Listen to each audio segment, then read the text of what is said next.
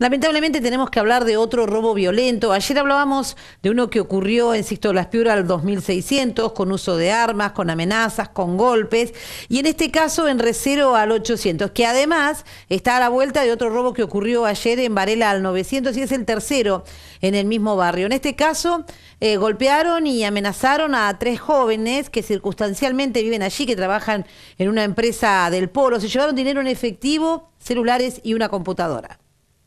Estaban los este, dueños de casa adentro y las sufrieron porque los golpearon y los dejaron atados.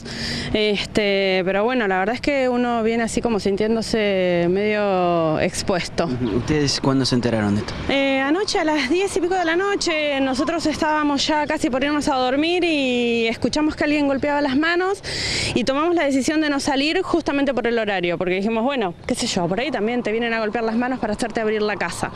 Eh, y me avisó la vecina de enfrente que en realidad era el vecino que estaba buscando auxilio porque como les habían robado el teléfono no tenían cómo llamar al 911. Así que eh, también una situación complicada, uno se sintió culpable anoche, pero bueno, la realidad es que uno también trata de preservarse. ¿Qué saben de lo que pasó?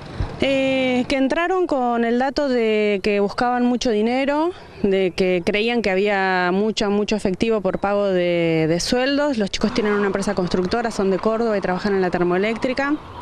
Y, bueno, nada, no había tanto dinero, había, creo que se llevaron 6 mil pesos y teléfonos celulares y unas notebooks.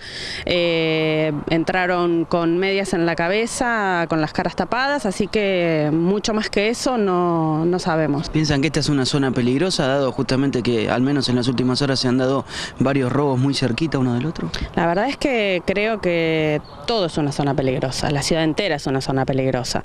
Nosotros veníamos así con una racha de tranquilidad pero bueno, eh, a veces este, como que se van mudando de sector en la ciudad, pero eh, está complicado en todos lados y más allá de que uno no, no tiene, yo no tengo herramientas para juzgar bien o mal a la policía, pero da la sensación de que los que hacen la inteligencia son los que hacen el mal y no los que deberían cuidarnos.